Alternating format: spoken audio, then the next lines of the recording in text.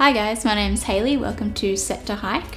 So I am absolutely obsessed with people's gear videos, so I thought I would contribute back and do my own. So this is everything that I took at the Overland Track. My boyfriend and I went end of September, so it was the very last week of the off season. First up, my pack. This is the Black Wolf Bugaboo. It's 80 litres. Basically, if you like lots of bells and whistles, then this guy is the way to go. Next up is the tent. This is by the brand Oztrail, so it's called Outer Limits Backpacker. Hiking poles. These are just a cheapo brand from eBay. They didn't break or anything on the trip. Next up is my sleeping bag. This is my favorite piece of gear that I own. It's badass. This is a to Summit Talus Women's 2 sleeping bag. I specifically bought this for Overland Track because I was worried that I was going to be too cold. So my previous sleeping bag was rated to minus 5 degrees and this is rated to minus 10. Compacts down to nothing. It weighs like a kilo, just the best. With my sleeping bag, I've got a to Summit sleeping bag liner. You can get silk sleeping bag liners, cotton sleeping bag liners, but Sea to Summit make these where it's meant to add a certain amount of degrees to your sleeping bag. So I have the highest one because I'm a lizard and I need sun to defrost. This works awesomely, not only does it add warmth, but it keeps your sleeping bag clean, so you only have to wash this as opposed to your sleeping bag.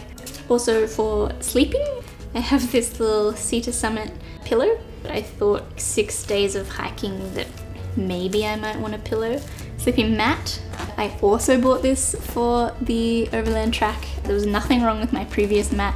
This is a Thermarest Z-Lite, which is meant to kind of like reflect your own heat back up against yourself. So you sleep on the reflective side and then the other side is yellow. But it is comfy. We also took a really, really light tarp. We didn't actually end up using this. This just came along for the ride. With my pack, I've got a pack liner. This is from Kathmandu. So it's super light and you sort of just cut it depending on the size of your bag. Probably should have mentioned too that my hiking pack has its own built-in rain cover and it's fluoro orange, which is the coolest color ever while you're hiking. Also with packs, I took a little day pack. This is just a couple of dollars off eBay as well. We spent two nights in Hobart after the trip, so we sort of needed a bag to walk around Hobart with Obviously it's good for side trips when you want to leave your pack behind. We also had this as our bag on the plane. On to uh, the cooking gear. So this is a Trangia. So inside, conveniently, my bowl and my cup fits perfectly inside the Trangia. So these are Sea to Summit mug made of silicon, folds out, fits two cups of water. So that's that. This is my bowl, also folds out. So back to the Trangia.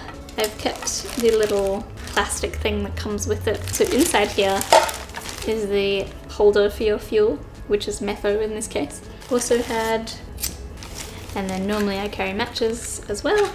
In here is always some KFC wipes. They are awesome for cleaning things, such as the Trangia, so I always just carry a couple of them that's all that's in there and then you've got your tongs and then to save weight the Trangia comes with two bowls but we took one and then obviously the windshield I have a little hand towel on a little carabiner. I took this but I didn't end up using it. My KFC wipes must have just been too great. For cutlery, these are from Kathmandu, they're titanium. I ended up taking the spoon and the fork and left the knife at home because I had a pocket knife. In terms of water, I took a two litre bladder. This fits perfectly in my pack. I also took a one litre Gatorade bottle. So this basically stayed in my pack the whole time for hiking and then my Gatorade bottle was more for when we got to camp and for cooking. And there was also one day when I put Powerade powder in it. And then we took water purification tablets. These are Aquatabs. We just took these in a Ziploc bag. The one litre Gatorade bottles work perfectly because one tablet is for one litre basically. Clothing. Sports bra. Merino thermals. They're just from Target. I hiked in the top and then hiked in the pants. I also, over the top of my merino pants, I had some skins. And that combination of skins and merino pants worked really well for me. And then I had a pair of shorts over the top of that.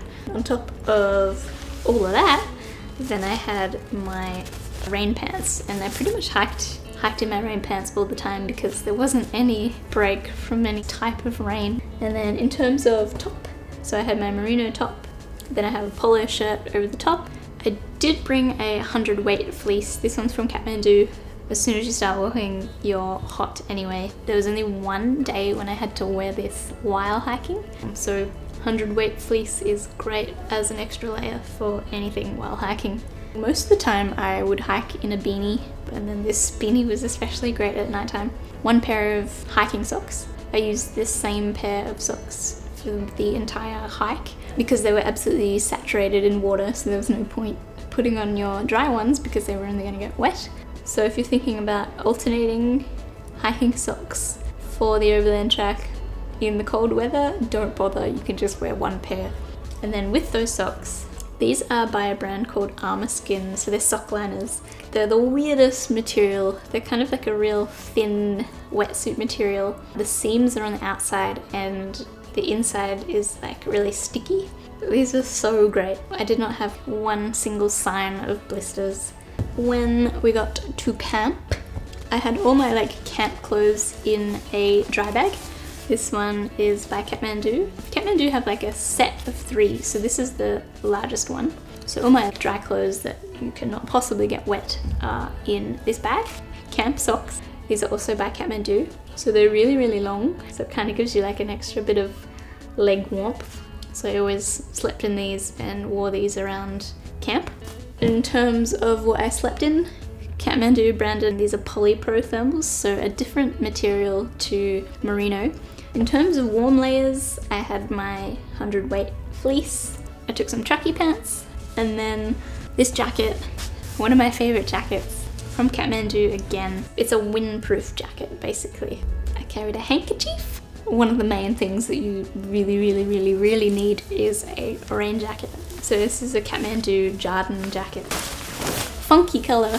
It's got your little chest zips so that when your pack is like around your hips, you can still have access to your pockets. This jacket performed magically.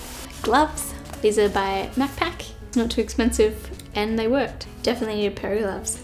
Hiking boots, they're the brand Keen, Keen Koven, um, so they're waterproof boots. My gaiters, uh, just the real small Kathmandu gaiters. If it's winter hiking, I would probably go for the next length of gaiter but these still worked. I had my lots of little Ziploc bags. In this one is Cradle Mountain to Lake St. Clair map and then I had just a pen and some paper. In the next Ziploc bag I have some paracord, a compass, a pocket knife, carabiner watch. It also glows in the dark. Clips onto your backpack like strap and then you can just lift it up and see the time because it's like backwards. Toiletries. So I took wet wipes. I always take these on a hike as well. They're my shower basically. I had a tiny little sunscreen, toothpaste, toothbrush, a hairbrush. I used this on the first night, but then I didn't use it anytime after that, so a hairbrush is probably something that you can live without. And we got some hand sanitizer, and then I have my deodorant first aid kit.